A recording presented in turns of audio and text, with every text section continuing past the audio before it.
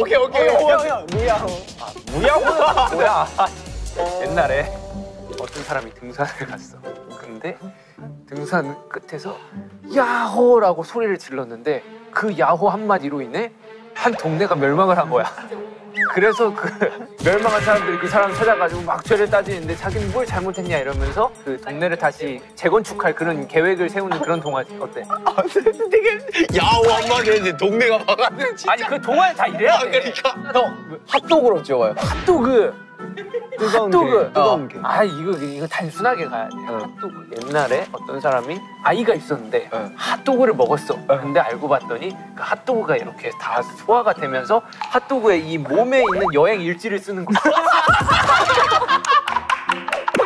엔딩 뭐야? 엔딩 궁금하다. 형 되게, 형 되게 신박하다 경기가 나와서 좋은 영양분이 되었어요.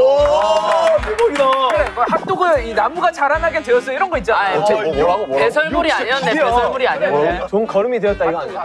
알파고 어때요 형 알파고 알파고? 네. 알파고는 사실 불쌍한 아이야.